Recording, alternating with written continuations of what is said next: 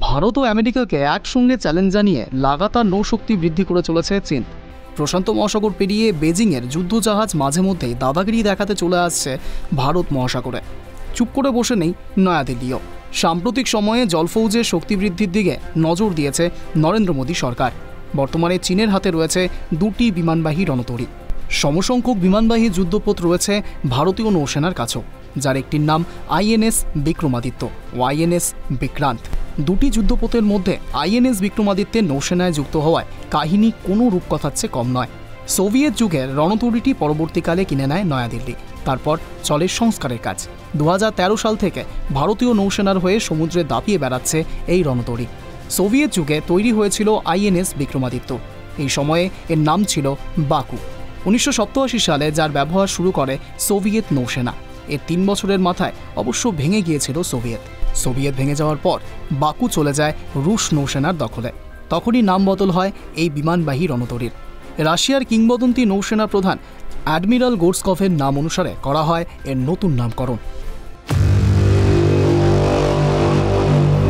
সালটা ছিল উনিশশো একানব্বই। উনিশশো সালে অ্যাডমিরাল গোর্সকফকে স্বেচ্ছাবসরে পাঠায় রুশ নৌসেনা। বিমানবাহী রণতরীটি পুরনো হয়ে গিয়েছিল এমনটা নয়।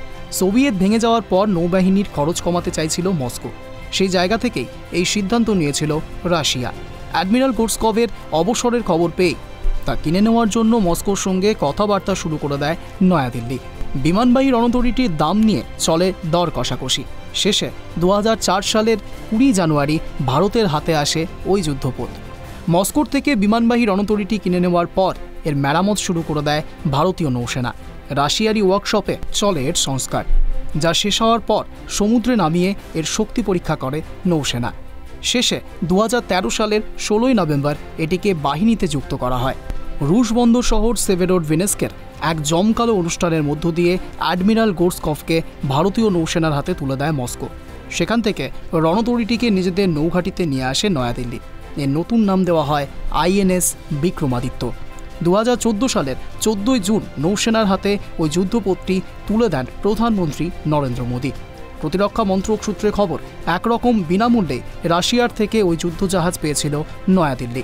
তবে এর সংস্কারের জন্য খরচ হয়েছিল আনুমানিক আশি কোটি ডলার।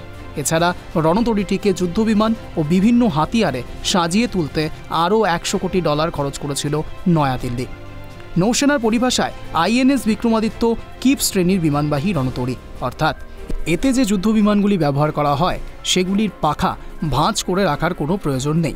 ফলে কিছুটা বড় আকারের যুদ্ধবিমান এই যুদ্ধপথে ওঠানামা করতে পারে।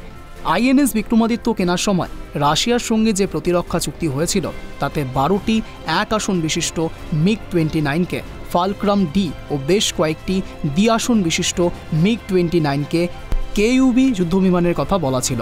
সেগুলি নির্ধারিত সময়েই নয়াদিল্লির হাতে তুলে দেয় মস্কো। এছাড়া এই রণতরীতে রয়েছে রাশিয়ার তৈরি ছটি Kamov K A thirty one helicopter, যা ডুবোজাহাজ ধ্বংস করতে সিদ্ধহস্ত। যুদ্ধজাহাজটিতে রয়েছে টর্পেডো টিউব, ক্ষেপণাস্ত্র ব্যবস্থা ও কামান যা শত্রু জাহাজ ডোবাতে ব্যবহার করতে পারবে ভারতীয় নৌসেনা। রণতরী কেনার চুক্তি অনুযায়ী আইএনএস বিক্রমাদিত্য চালানো এবং সেখান থেকে শত্রুর ওপর আঘাত হানা যাবতীয় প্রশিক্ষণ ভারতীয় নৌসেনাকে দিয়েছিল রাশিয়া। পাশাপাশি এর রক্ষণাবেক্ষণ এবং যন্ত্রাংশ সরবরাহ করতেও দায়বদ্ধ মস্কো। আইএনএস বিক্রমাদিত্যকে হাতে পাওয়ার আগে পর্যন্ত হালকা বিমানবাহী রণতরী আইএনএস বিরাট ব্যবহার করত ভারতীয় নৌসেনা। দু সালের এর অবসর নেওয়ার কথা ছিল। কিন্তু নতুন বিমানবাহী যুদ্ধপথ হাতে না পাওয়ায় বিরাটের অবসরের সময় পিছিয়ে দিয়েছিল নৌসেনা।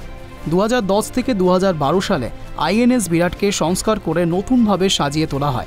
ফলে আরও পাঁচ বছর নৌসেনার হয়ে সমুদ্রে দাপিয়ে বেরিয়েছিল এই যুদ্ধপথ। শেষে দু হাজার সতেরো সালের ছয়ই মার্চ অবসর নেয় এটি। অন্যদিকে দু হাজার চার সালে নৌসেনার জন্য সম্পূর্ণ দেশীয় প্রযুক্তিতে একটি বিমানবাহী রণতরী তৈরির বরাত পায় কেরলের কোচিন শিপইয়ার্ড লিমিটেড। দু হাজার বাইশ সালের দোসরা সেপ্টেম্বর যা হাতে পেয়েছে ভারতের সমুদ্র প্রহরীরা। দ্বিতীয় যুদ্ধপত্রীর নাম আইএনএস বিক্রান্ত। ভারতের মাটিতে প্রথম তৈরি হওয়া বিমানবাহী এই রণতরীর জন্য আনুমানিক তেইশ হাজার কোটি টাকা খরচ করেছে কেন্দ্র। এটি চালানোর জন্য এক হাজার সাতশো জন নাবিকের প্রয়োজন হয়। আইএনএস বিক্রান্ত লম্বায় দুশো বাষট্টি মিটার।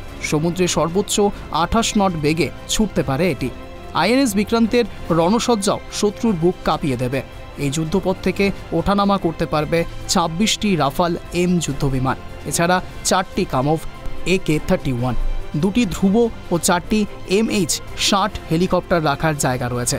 প্রতিরক্ষা মন্ত্রক সূত্রে খবর, আগামী দিনে তৃতীয় বিমানবাহী রণতরী তৈরি করবে ভারত। এর নাম হবে আইএনএস বিশাল।